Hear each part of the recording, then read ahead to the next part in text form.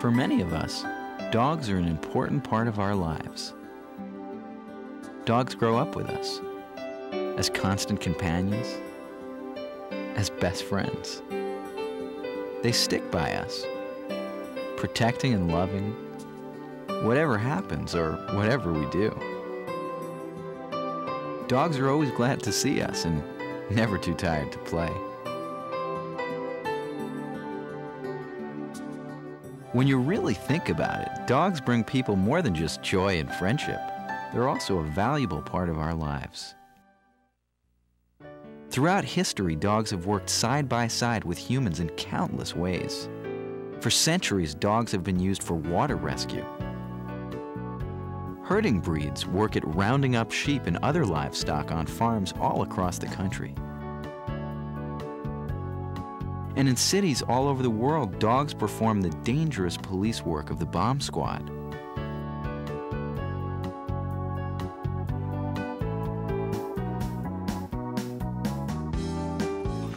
Dogs also play an important part of the federal government's effort to stop illegal drugs. Good boy. It, it, man. Good boy. Get hand in there, man. It.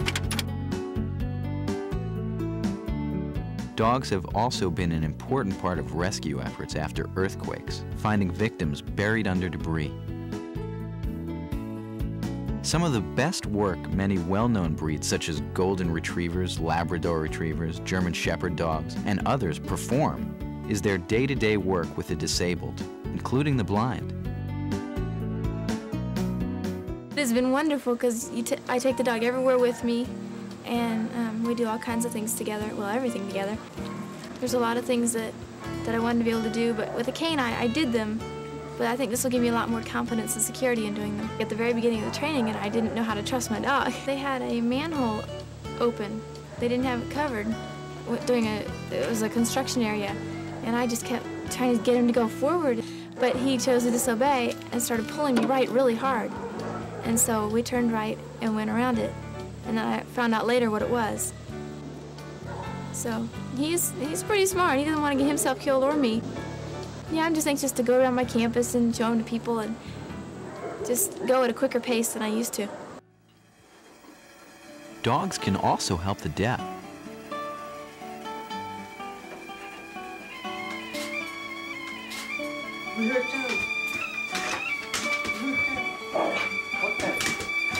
Oh, teacup. And you think yourself, how could a dog tell you what it sounded? But he does. If a doorbell is ringing, he would bring me to the front door. If the baby is crying, he would bring me to the crib. Not the front door, not anywhere else. He would show me where the sound is.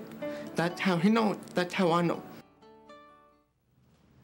Dogs can also make everyday life a little easier for other disabled people. Before Tess came along, if I dropped something on the floor, you know, I couldn't pick it back up.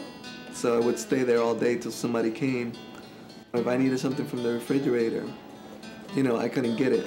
So it would either have to be out before somebody left or, you know, I'd have to wait. Tuck, back. Good girl. Get it? Get it. That's it, get it. But now, you know, she can get stuff from the refrigerator for me. She knows how to open doors. You know, the elevator buttons that I can't reach, she can reach for me.